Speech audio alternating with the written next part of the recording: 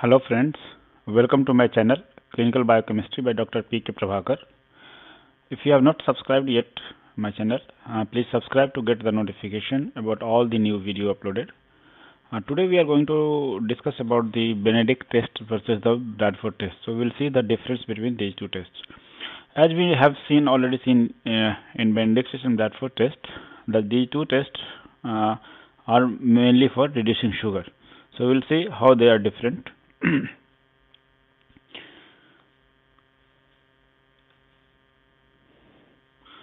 so first we'll uh, we'll go and we'll see the principle for the Benedict test and Barfoed test. And Benedict test we have seen uh, we are using Benedict reagent and Barfoed test we are using Benedict uh, Barfoed reagent. In case of Benedict test uh, we are using copper sulfate as a source of copper uh, which provides the copper plus 2 ion and in alkaline condition uh, it is ultimately gives us Cu plus 1 ion that is cuprous oxide. The color of uh, copper sulfate is blue.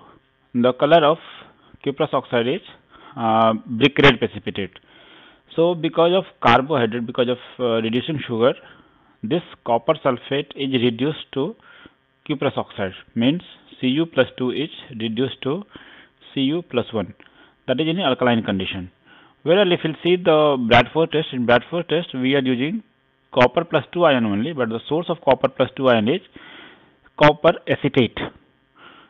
Whereas the reaction is taking place in case of acidic environment not in alkaline environment. The, this is the major difference between the Benedict test and Barfoed test is the reaction in condition is different. In Benedict test it is alkaline condition, in Barfoed test it is acidic condition. Here also C plus copper plus 2 ion is reduced to copper plus 1 eh? and the color is converted from blue to brick red color. now we'll see the dif uh, difference between the reagents. In case of Benedict test, we are using Benedict reagent. The reagent contains three components. The first component is copper sulfate, which ultimately gives us copper plus 2 ion. Second one is sodium citrate, which normally keeps copper plus 2 in the plus 2 state and which does not allow Cu to uh, precipitate in plus 2 forms. And third one is sodium carbonate, which provides the alkaline environment as Benedict, Benedict reagent reaction occurs in alkaline environment. Whereas in case of Barfoed test, we are using the Barfoed reagent. This Barfoed reagent normally contains two components. One of the component is copper acetate, which ultimately gives copper plus 2 ion. So copper sulfate is equivalent to copper acetate. Both provides Cu plus 2 ion. And second one, here we are using glacial acetic acid or acetic acid.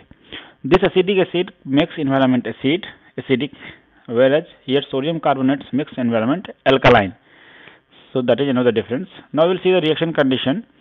Copper plus sulfate gives us copper plus 2, which is converted into Cu plus 1 plus ion. That is reduction of plus 2 to plus 1 in alkaline conditions.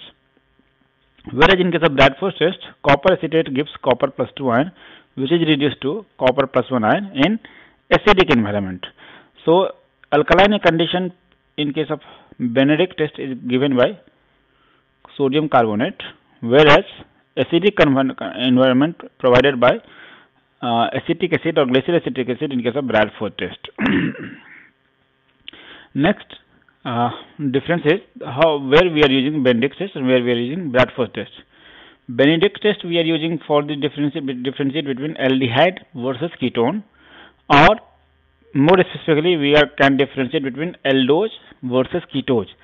So all the aldoses that is aldehyde containing carbohydrates plus alpha hydroxyketone gives positive test whereas ketones except this alpha hydroxy ketone gives negative test.